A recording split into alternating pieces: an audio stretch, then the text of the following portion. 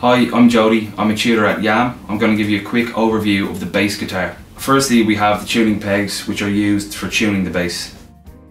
Next, we have the nut, which you pass the strings through to get to the tuning pegs. Here we have the frets. You place your fingers on different frets to make different notes. This is a four string bass guitar. You can also get a five and a six string bass. Four string bass guitars are tuned to E, A, D and G. Those again are E, A, D and G. Next we have the pickups.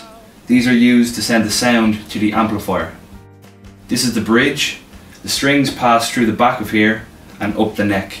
Here we have the volume and tone controls. The volume controls are used to make your bass louder or quieter. The tone is to change the tone of your bass depending on the type of music you're playing.